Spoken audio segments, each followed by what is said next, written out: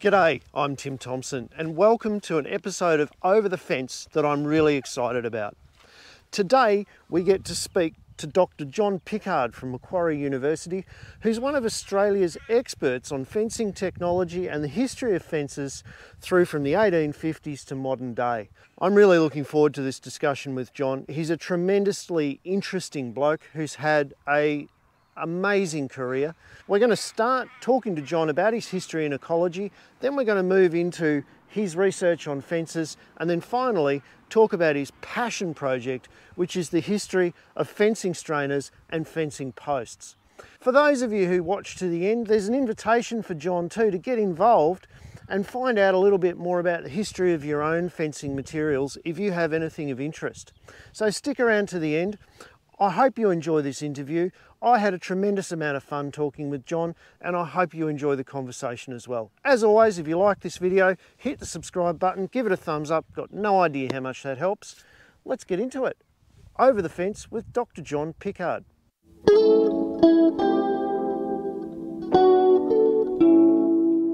John, thank you very much for your time today. I'm sure we're going to get a lot out of this discussion. I'm really excited to talk to you. You are a bit of an authority on fences here in Australia. You've done a certain amount of research on it, and you're becoming well known for your knowledge on the technology behind fences. Um, but your career started out in a very different way. For the first decade or so in the 1970s, you mainly worked for the Botanic Gardens in New South Wales. Um, yep, that's then, right, doing vegetation surveys doing vegetation surveys, and I suppose that that will make sense in time because that led to what you're doing now with fences, didn't it? Yes, oh, very much so. You decided in um, about 78 that you needed a bit of a career change and that you decided that you wanted to do something interesting. Can you tell us a little bit about that? Well, it was a, a, a very easy decision. Um, a, a, job came up in, in Antarctica doing a vegetation survey, which is what I'd been doing already. Um, yep. But Antarctica was a place I always wanted to go to, and uh, this was an opportunity. So you, you worked at several of the bases there. You worked at um, Mawson and at Davis. Yeah, that's right. Um, I was primarily based at Davis, um, which is on the edge of a, of a 300 square kilometre low hills. They, they only go up to about uh, 200 metres or so. So it's not steep peaks or anything like that and most of it's ice free, so you can walk around in it during summer and even through winter. And so I was out working there pretty much all the time doing field work, and um, I was even out there on the coldest day we had, which was minus 40. That work then led to you going on to Canada um, and getting a fairly prestigious scholarship as a postdoc to work yeah. over in Canada on, on glaciers. Is that correct? Yeah, that's that's right. And I ended up working on uh, a fairly remote mountain up in the Yukon Territory, and it was completely different to Antarctica because Antarctica is basically an ice sheet, and this was where I was working were essentially alpine mountains with very short glaciers. And after working on an ice sheet, glaciers in the mountains in Canada were dead easy. And you actually wrote a book on um, on geomorphology in Antarctica. I mean, you're, you're quite a well known scientist in that field. But then you moved again and you went and worked for um, the Western Lands Division. Yeah, that's that's right. For the New South Wales government. Yeah, that was a, a really a complete change. I went from being a scientist to being an administrator, and mm. that was a bit difficult. And strangely enough, was also a loss of status. I was to, to my scientist colleagues who I knew quite well, I was no longer a scientist. I was now a paper pusher. Right. But you never stopped being a scientist, did you? Because you actually no. used that job to conduct your own research um, on what became your passion and what actually became your second PhD, which is the impact of fences on the environment. Yeah. Can you talk us through a little bit how that worked? The question I was trying to answer was a simple one that, that has bedeviled semi-arid management, semi-arid land management, and that is what was the effect of and the impact of European occupation of semi-arid Australia. And so I was looking, I, I was working on um, a, a, cluster of properties near Whitecliffs in Western New South Wales.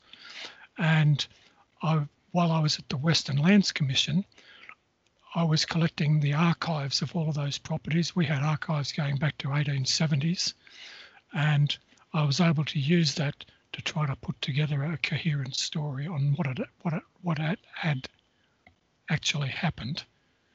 And to you, very much, the role of fences started to play a, a pretty pivotal role in your understanding of, of Western impacts on yes. on the plains. Yeah, the, the the the keys to understanding the management in semi-arid zones are the location of fences and watering points. And while I was doing my surveys out there, I was noticing that there were these old fences all over the place. And I was mapping those and also using the survey plans in the archives to map them as well. And there were uh, major changes in technology in the fences. And they'd been, in some cases, they'd just been abandoned and, you know, more or less rebuilt somewhere else. But my focus at that time was primarily on the land management side. And it, so, so changes in technology of fencing had profound impacts on the management of the landscape and the effects of the landscape. Yeah, very much so. And and there, and there was one pastoralist in particular from the turn of the 19th century, a, a South Australian called Peter Waite, who developed a, a radical radically new system of fencing of small paddocks, each with its own watering point. And he was the first to do that. And the, the area where I was working, he had originally owned an, an awful lot of it. And so there, there were the relics of his management style. So it gave you a point of comparison with contemporary large paddock management yeah. systems and set stocking where yeah. you saw a tremendous impact of just just the way that we arrange fences in the landscape. Yeah, it, it, it's sort of interesting that everybody knows that if if you're going to use fences properly, then you should be fencing out different land types. So you fence out mm. hills from valleys, from salt lakes, and so forth. But as everybody who's ever driven around the landscape knows, fences run in straight lines. They go up over the tops of hills, down across the valleys, across the salt lakes, and up the hills on the other side. Um, and interestingly enough, fencing out land types was first described in England probably in about the 15th century, and we're still not doing it. And there's good technical reasons for it. Building a fence around a convoluted land type is expensive. It's cheaper yes. to just run the fence in a straight line. Yeah. Yeah, and to push things out of the way. Now, oh, yeah. fencing fencing in Australia had a huge environmental impact. Um, mm. You've described the number of trees, for example, that were removed early on just to provide the fence posts to to yeah. put fences up. Can you go into a little bit of that detail for us, John? Before we had iron and then steel fence posts, all the posts were made out of wood, and they were cut locally. And so, in the Western Division of New South Wales, which is 42% of the state, I did some calculations based on the work that I'd done and checked this against some work that some other people had done. And we calculated that there was probably about 20 million fence posts had been used in to fence the Western Division. And if you assume that you, you might get two out of each tree you cut down, that's still 10 to 20 million trees were cut down just to provide fence just posts. for fences. Not for clearing, for, for farming or anything like that, yep. purely for fences. And, and in some cases, the impact on local populations of good fencing trees was fairly devastating. But probably more interesting was what we found out by using fences as, as environmental indicators. And traditionally, people get justifiably worked up about erosion and they study erosion. It's we found that it was much more productive for us to look at the sedimentation. If you're going to erode, if, if material is eroded, it ends up somewhere. That's the sediment. And we were finding partially buried fences. And they mm. provide first hand evidence of landscape change. And so, for example, we were mapping fences that were built in the 1890s uh, they were recorded on survey plans in the 1890s, and all that was visible of them was maybe six or seven inches sticking out of the ground. The rest of the fence had been buried by the sediment that had been eroded from elsewhere. So you're using, you were also using fences almost like growth rings on a tree. Oh, yep, um, exactly. To, to figure Yep. out the, the amount Yep. of erosion, when it was occurring, when it had occurred. yes.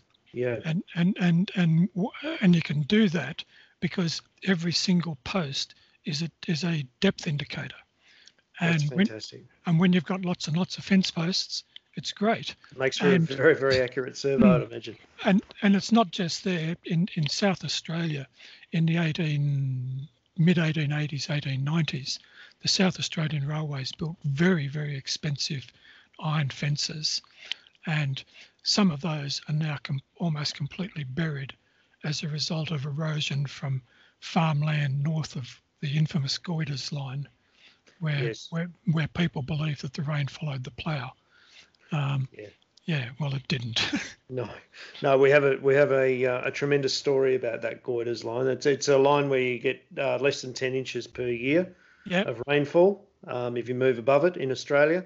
And there's some um, some pretty tragic stories about people trying to move up into the Flinders Ranges and and farm in wet years, and they thought everything was sustainable and great. That's they right. Townships and railways, and then we went into about two decades of drought, and everything failed, and they all moved away. And it's Yep. it's quite tragic to actually visit those places to this day, isn't it? And see Yeah. those those Yeah. old cemeteries and churches and and and, and, railway and stations. and and abandoned ruined buildings and and every time i see those i Mm. think of the heartbreak that was involved in that there was a spirit of optimism it it Yes. and back in when i'm interpreting those things i don't blame people for that um, there was a period of optimism um, and they were literally ignorant of the nature of the climate and didn't understand that it was essentially a droughty environment with occasional good years. But And they just Skip- so happened to pick a couple of good years to start, that's didn't they? that's that's correct. What a but skip- tragedy.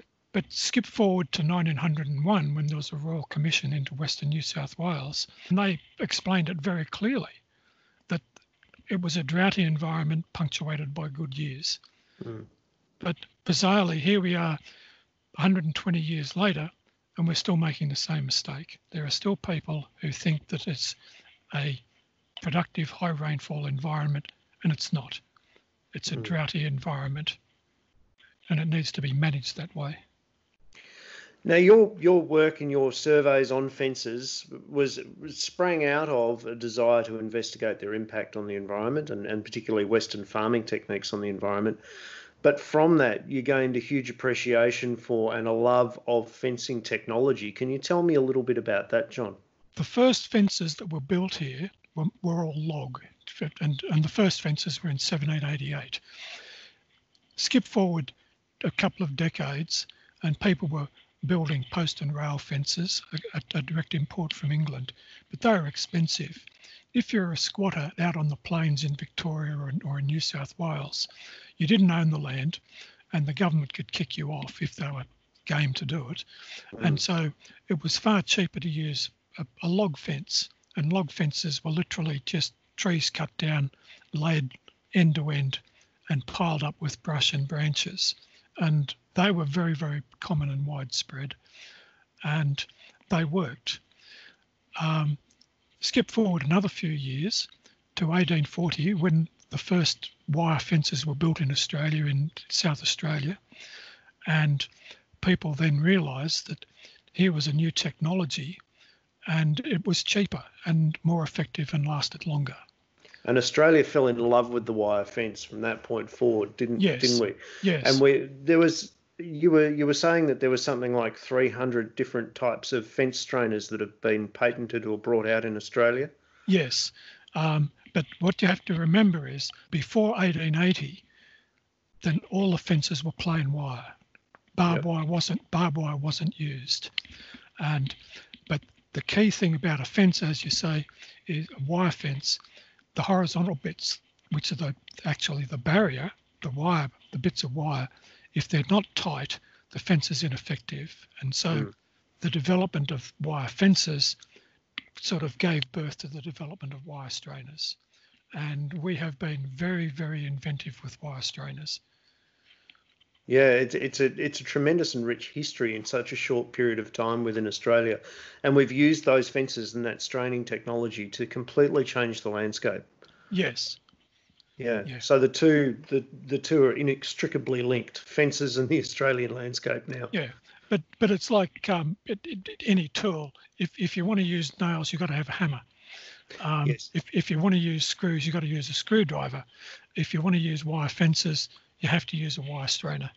And it's certainly it, it, there's a little subculture in Australia of people that collect old tools and wire strainers, and uh, I'm, I'm sure you're well known within that subculture. Well, well, I'm getting that way, but, but yeah. what we have to remember is it doesn't matter what the thing is. Um, if you remember the fabulous ABC show on, you know, I think it was called Collectors. Yes. Whatever the item is, there's someone somewhere who's collecting them. Collecting now, now whether it's thimbles, dolls, teaspoons, wire or fence posts, wire strainers, there's somebody collecting them.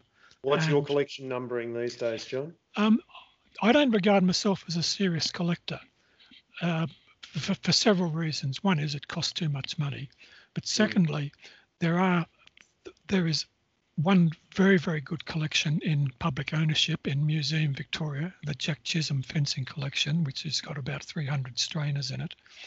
There's a couple of others on in private hands, but in public exhibitions, and there's a number of collectors. But what I'm doing, the, the ones that I'm buying these days, are primarily modern fence, modern strainers, because the Jack Chisholm collection essentially ends in about 1980 and so I'm buying modern strainers. And when I finish my research, I'm going to give the lot to Museum Victoria to extend their collection. That's brilliant. Yeah, except That's it's costing brilliant. me a bloody fortune. uh, so fences are important in our psyche. They define our wealth. Um, they they uh, at the very least express to people that land is privately or publicly owned. They can keep stock in, they can keep pests out, but at the end of the day, essentially, um, the the way that we put fences up hasn't changed very much in a, in a in hundred or so years. We tend to still put them in straight lines. We tend to still have square corners. We tend to still fence across the landscape. Uh, myself, you know, I was I was fencing across a gully only a couple of weeks ago. Um, I suppose the important learning that comes out of your research, John, is that we need to now, with newer technologies, change the way that we fence off the landscape and change the way that we divide the landscape up so that we can actually have more sustainable farms. You see new technology coming in and replacing fencing in time? I think we need to distinguish between two sorts of fences the ones that are on boundaries. In other words, this side is mine, that side is yours I've yep. got really valuable stud animals over here. You've got a bunch of mongrels and they're full of diseases, and I don't want your lousy animals near mine. So that's a boundary fence. But within the property, the paddock fences are the ones that really determine the way in which stock and crops are managed. And mm. with the new technology now through G- GPSs and satellites, you can put a, an ear tag onto a cow or a sheep and you can track its movements. You can also program it that provided the animal stays within a circumscribed area, then everything's fine. If it tries to go outside that area, there's a buzz sounds in its ear or it gets a little bit of an electric shock, a bit like an electric fence. Mm. Um, and but the animal learns to stay within the area where it should be. So my prediction is that in another 20 years, we'll, we'll see a progressive replacement of many of those internal fences with the GPS tracking, what you know, what people call virtual fencing. And we'll probably combine that with um, NDVI imagery from yep. satellites and things like that yep. to better manage our paddocks. Yeah. Yeah. To sort out how long we can graze certain areas, stocking yes. limits for paddocks, and all that sort of thing. Yeah, um, but the but the but the key thing is the boundaries between the properties will probably remain as hard fences. Um, mm. but the internal ones will change. But, but this sort of thing only really applies on grazing land. If you're cropping, for example, um, if you trip around parts of Western Victoria or parts of, say, the Darling Downs or Liverpool Plains where it's purely cropping, you don't actually need a fence. Um, you don't even need a fence between me and you. All you need is, mm. you know, a couple of drunken fence posts or a, little strip of unploughed land. That's all you yeah. need. You, you only need fences where there's livestock mm. or you want to keep out pest animals. So, the big take home for us, I suppose, out of this conversation with you, John, you've done many, many years of research into fences, their impact on the environment, their impact on our culture. You would love to see a culture shift in the way that we do internal fencing. You, you accept the fact that boundary fencing can't and probably won't change, but we really need to start to rethink the way that we fence inside of our properties to better manage the land because you have seen through many, many years of research terrible impacts on the environment from poorly managed uh, grid pattern fencing that doesn't take into account what you're actually fencing off on either hmm. side. I'd be a bit reluctant to say it's entirely due to fencing. Poor management mm. is is the result of a management decision. It's not the, yes. it's not the result of a fence. Um, and the, the thing that will drive any potent, any future change will always be money. Um, fences are currently very, very expensive. A even a fairly ordinary five wire fence will cost you five to ten thousand dollars per kilometre. If you want to go to an exclusion fence, which keeps out, which is about two metres high, usually made out of ring lock or hinge joint, and and and they are designed to keep out all large animals. They won't keep out rabbits or cats or foxes, but they'll keep out sheep, cattle, kangaroos, horses, donkeys, you name it. They can cost up to forty or fifty thousand dollars a kilometre. Now, when you start looking at that, that's a fairly expensive proposition if you've got a couple of hundred kilometres of fence. You know, just talk to the people up in Queensland who lost their fences in floods. Mm. But with the if you combine the the now mandatory ear tags, the life, National Livestock Identification System, with a GPS chip fitted inside it, then that may well persuade people that in the long term it's a cheaper and a better proposition. And it will allow them to, as you say, to manage the hills on their properties differently from the valleys and to selectively rest areas and get more productivity out of them as a result. Well, that's that would be the objective, yes. Mm. But it but it it, it will be uh, a, a, decision based on dollars. They're exactly the same as the decision to when people shift move from shepherding defences, capital replaced labour because capital was cheaper and it made more money than labour. And once we have the stock regulating their own behaviour because of the ear tags, then you don't need the internal fence anymore. So you've saved $5,000 a kilometre for maybe 100 kilometres of fence, internal fence. Big mm. properties in Queensland have several hundred kilometres of internal fence. 100 kilometres at $5,000, it's half a million dollars.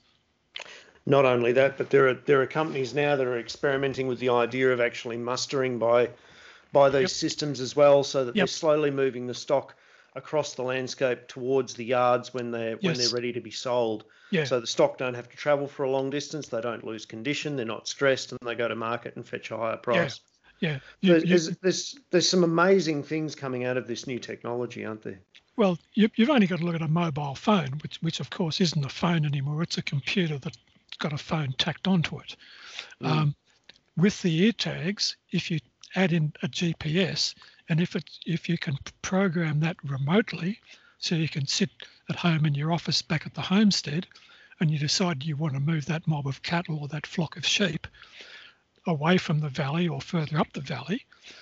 So you, as you exactly as you say, you can progressively program it so you gradually drift them up instead of going mm. out on your quad and, and, and your dogs and, and driving them up there yeah mm. the the, mm. the potential for that I, think is amazing and once it becomes marginal or or once the price differential between that sort of technology and the capital cost of fences becomes fairly slight, people will switch over.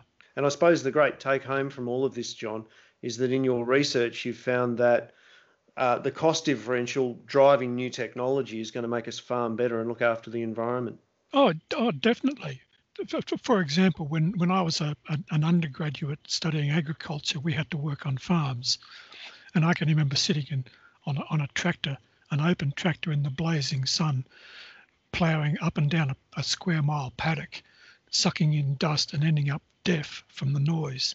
Compare that with tractors today, which mm. you know will cost you anything up to half a million dollars with air-conditioned cabs, and they can essentially be driven remotely with it using a GPS. Um, m- many cropping operations drive plow and operate on exactly the same tracks every time, and it's all done with GPSs and mm. video cameras. That the technology is simply staggering. So I suppose, John, for the rest of us who are thinking about putting up a couple of internal fences in the next few years, the take-home message from your research has been pay more attention to your landscape, pay regard to the productivity of different classes of soils, and try and fence to those so that you can reduce the impact of your activities on the environment and so that we can move away from the square grid approach of fencing and actually start to get more productivity from the land by managing it better. I think that's the ideal, but I think that in many many ways it's almost unattainable. People have been saying that for hundreds of years. The Soil mm. Conservation in Service Soil Conservation Service of New South Wales had that as a mantra for decades. Fence out different land classes and yet when you drive around, you can still see the straight line fences. Um, do you think it's an education thing, or do you just think it's no, a pure finance thing? In in many in most cases, I think it's a finance thing. Um, building a fence with lots of corners in it, you, you're building yourself a maintenance nightmare. Mm. Um, and it's also much more expensive to do that. If if if instead of building 10 kilometres in a straight line, you've got essentially a zigzag. Your costs go up quite a bit because every corner's got to have a strainer post, and your gains in productivity may be fairly marginal. And in any event, whether or not the land becomes eroded is the way you manage within those paddocks, regardless of the shape of the paddocks. And it doesn't matter whether you're farming sheep, cattle, kangaroos, emus, I don't care what it is there's a limit to the number of stock you can put on before you start having problems. And that's that's where the issue is. It's it's the management itself, not the fences.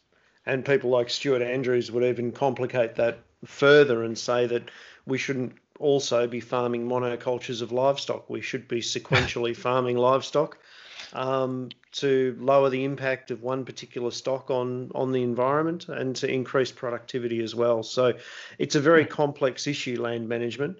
Thank you for taking the time to delve into the role of fences on the landscape and your research on that, John. You've had an amazing life story, um, and you are continuing to have an impact on the way that people think about how we value the land and how we use the land.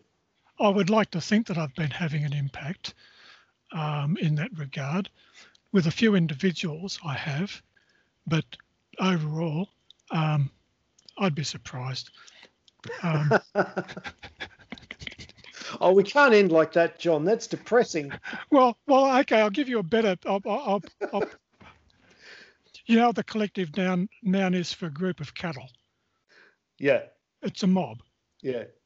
A group of sheep. It's a flock. Yeah. Do you know what the collective noun is for a group of academics? No. Oh no. It, what is it's it? A, it's a wank. and and you, if I rock up somewhere and um, you know cold calling on somebody, the the the the shutters go up pretty much straight away. Oh God, yep. not another not another bloody academic out here telling me what I'm going to do. Well, yeah. I've always tried not to tell them what to do. It's their business enterprise. It's not mine. I'm an academic. I'm not out there sort of trying to negotiate the vagaries of climate, government policy, um, always being a price taker at the bottom of the pile. Um, now, whether I'm, I'm buying or selling, I'm always getting screwed by somebody. And the last thing that anybody in that situation is going to do is to listen to an academic who's never put his own money on the table with that sort of risk. Um, but what I think I have managed to do is to make it give Australians a better understanding of the history of fencing and where it fits into our agricultural and rural uh, culture. And it really is central. But strangely enough, there's almost no fencing jokes. Yeah, that is odd, isn't yeah, it? There, there's shearing jokes, there's shepherding jokes, but the, I, I, I have not found a single genuine Australian fencing joke. we'll have to look for one. Well, good Anyone luck. got any good fencing jokes? Please put them in the comments below. John, thank you tremendously. John, thank you very much for your time no, it's tonight. A, it's, a, it's a pleasure, Tim. I, am hoping that maybe uh, we can call on you in the future for specialised comments and that uh, yeah. we might revisit this conversation into the future. Yeah, no, I, I would be very happy. And, and if, if, any, if any of your viewers have something that they think is a really unusual type of fence, or a yes. fence post, which is a real bodgy or a dropper or anything like that, wire strainer, yep. please get in touch. Um, send, send a couple of images into Tim, and I can probably identify them for you. And I'd be very happy to correspond with you about them. And certainly, if anyone gets onto my website, timthompsonmedia.com.au, you will find the links to send me an email with images, and I will be certain to send them on to John um, and uh, I'm sure you'll get a thrill out of seeing any unusual or uh, unique fencing equipment or even posts. Definitely. Yeah. Thank yeah. you very much, Tim. Very good, John. Thank you so much for your time uh, tonight. That's really a, that, appreciate it. That's that's a pleasure.